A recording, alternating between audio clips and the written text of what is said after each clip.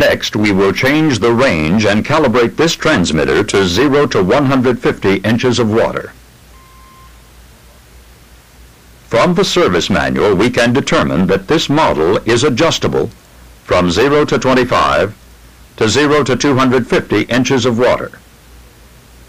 0 to 150 inches is well within the calibration limits. For a thorough calibration, we will need a low-range pressure source, a digital voltmeter, a milliammeter, a 24-volt DC power supply, hookup wire, and tools. Connect the 24-volt DC power supply across the transmitter DC terminals. Be sure to observe polarity. Put the milliammeter in series with the power supply leads. It must be suitable for measuring 4 to 20 milliamperes DC. Connect the digital voltmeter across the test jacks on the printed circuit board. It must be suitable for measuring 10 to 50 millivolts. It is quite obvious that the milliammeter and the DVM are serving the same purpose. For greater accuracy, rely on the DVM. Connect the variable pressure source to the high side of the transmitter. Be sure the low pressure side of the transmitter is vented. Apply a pressure equal to the lower range value to which the transmitter is to be calibrated. In our 0 to 150 inch range, it will be 0 inches. Adjust the fine zero until the output on the DVM is 10 millivolts. The milliammeter should read 4 milliamps. If the fine zero cannot be adjusted down to 4 milliamps, place the coarse zero screw in the next lower hole number. For example, from 4 to 3. Some circuit boards have only two coarse zero adjustments. In that case, the move downward may be from location 5 to 2. If the fine zero cannot be adjusted up to 4 milliamperes, the coarse zero screw is moved to the next higher number. After correctly setting the zero at 10 millivolts or 4 milliamperes, apply a pressure equal to the upper range limit of the calibrated range. In our example, this is 150 inches of water.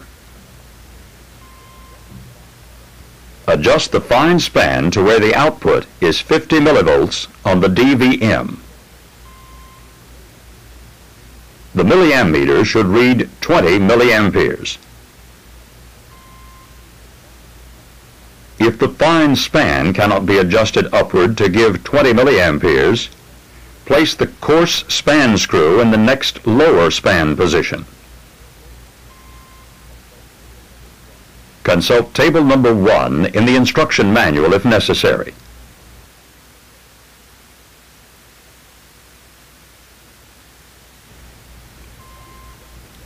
If the fine span adjustment will not bring the output down to 20 milliamperes, Place the span screw in the next higher span position. Once the 20 milliamperes is set for the upper range limit, recheck the zero and the span until the calibration is correct. The zero and span screws do make an electrical contact. Always be sure they are tight. The calibration of the process pressure transmitter is so nearly identical to that for the Delta P type that we will not discuss it. when a range change requires changing the meter body for either model. It is only necessary to remove the four body or head bolts and replace the center section with one having the correct range. Be sure to inspect the O-ring head gaskets and replace them if necessary. The body bolts should be tightened to 65 pounds per foot torque.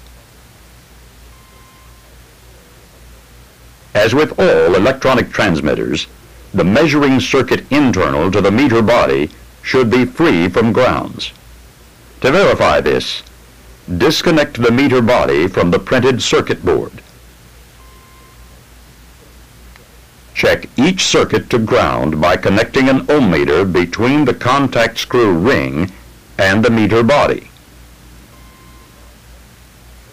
If a conductive path is indicated, the meter body or center section must be replaced. This diagram shows the ohm meter connected for a resistance check on the meter body. This table located in the instruction manual, shows how to check the continuity of the sensor circuits.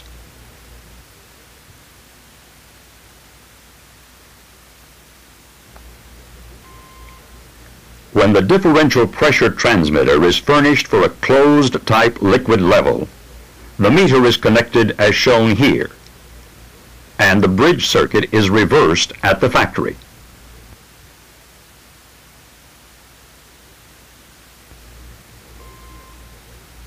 For those who are interested, there is a formula for calculating the correct zero and span screw location for various ranges.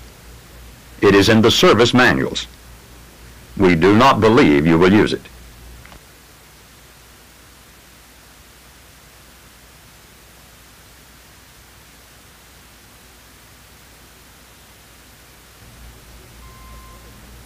In addition, a troubleshooting guide list is provided in the manual. These checks would usually be used in the shop.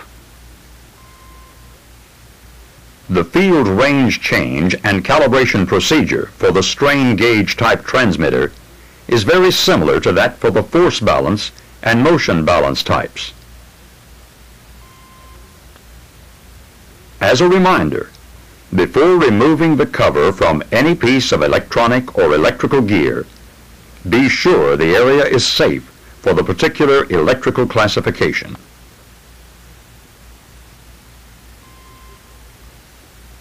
In this segment, the assumption is made that the student has viewed either tray 12 or 15, or both of them, for this module. Now work exercise number three in your workbook.